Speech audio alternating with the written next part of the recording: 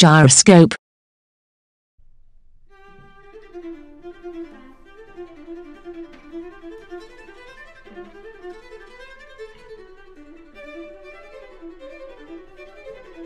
We can clearly see how unstable this one is. It's revolving along the axis of rotor. This one is are much more stable because of the gyro stabilization.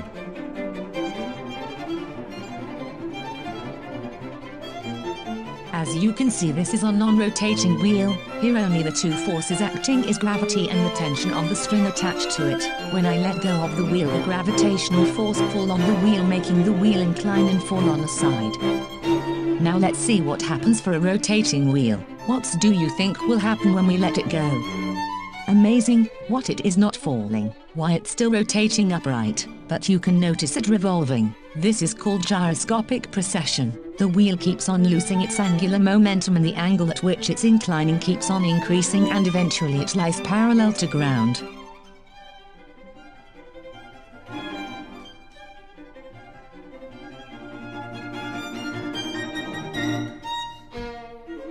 When the wheel and its axis are stationary, they will fall to the table surface. When the wheel spins, it and its axis float in the air while moving in a circle about the pivot.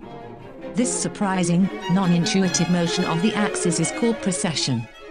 To study this strange phenomenon of precession, we must remember that angular velocity, angular momentum, and torque are vector quantities. In particular, we need the general relationship between the net torque T that acts on a body and the rate of change of the body's angular momentum L.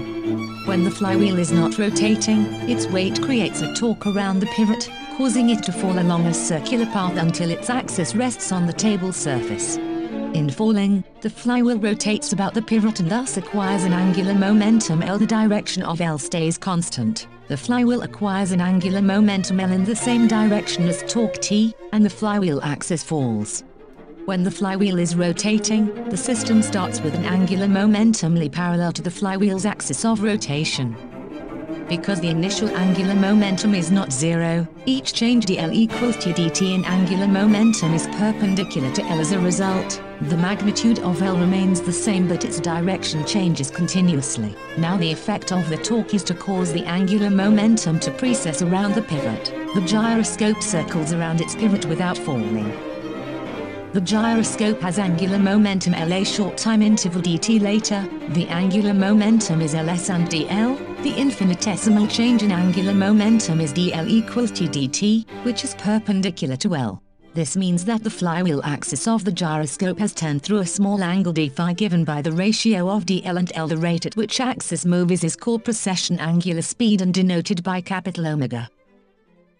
What will happen when we have a wheel of bigger mass?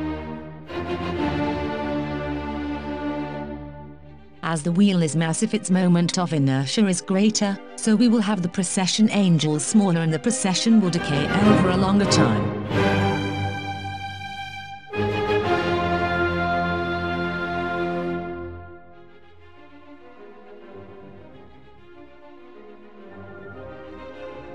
Here we are standing on a rotating frictionless stand and as we are holding a flywheel which after rotating has an angular momentum L, in the direction normal to the flywheel. As we change the direction of angular momentum we get a reaction force by the gyroscope which rotated the body. This is the consequences of law of conservation of momentum.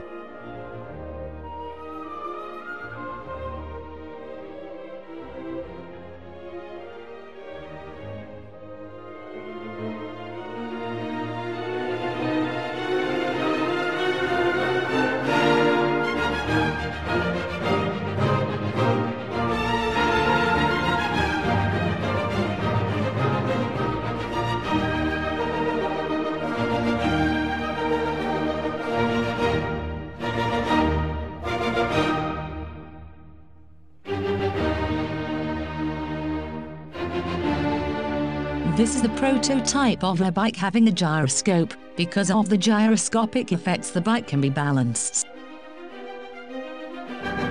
This is a rack of four gyroscopes and part of the hardware and equipment filling the space station processing facility. Also gyroscope is used in airplane and mobile submarines and also in Hubble.